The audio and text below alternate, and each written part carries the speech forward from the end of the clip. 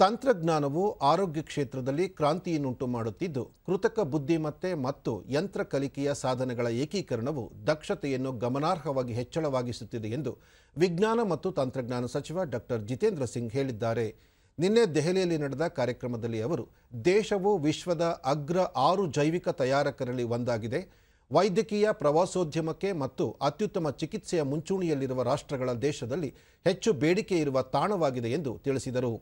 Ayushman card, digital health care mission, PM ಜನೌಷಧಿಯಂತಹ ವಿವಿಧ ಯೋಜನೆಗಳ ಪ್ರಾಮುಖ್ಯತೆ ಬಗ್ಗೆ ಹೇಳಿದ ಅವರು, ಆರೋಗ್ಯ ರಕ್ಷಣೆಗೆ ಸಮಾನ ಪ್ರವೇಶವನ್ನು ಖಾತ್ರಿಪಡಿಸುವಲ್ಲಿ ತಂತ್ರಜ್ಞಾನವು ನಿರ್ಣಾಯಕ ಪಾತ್ರವನ್ನು ವಹಿಸುತ್ತದೆ ಎಂದರು.